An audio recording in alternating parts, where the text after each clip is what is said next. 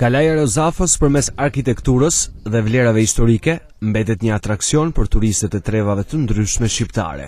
Për vizitorët është intriguese historia e ndërtimit të kalasë shekullore, por dhe mënyra se si është realizuar mbrojtja nga kjo pikë strategjike. Fundjava është koha më e mirë për turistët, të cilët shprehen se ndjehen të tërhequr nga arkitektura, lashtësia e kësaj kalaje, por dhe pamja që ajo ofron. Mirë, mirë unë për herë të dytë. mirë, shumë mirë. Ja veç uh, vizitum.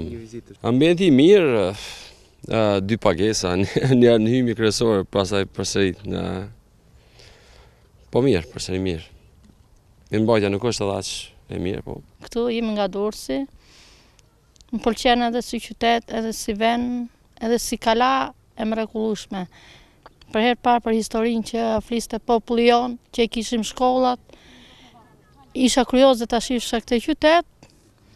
Kështu e hoqa edhe mia kuriozitetin.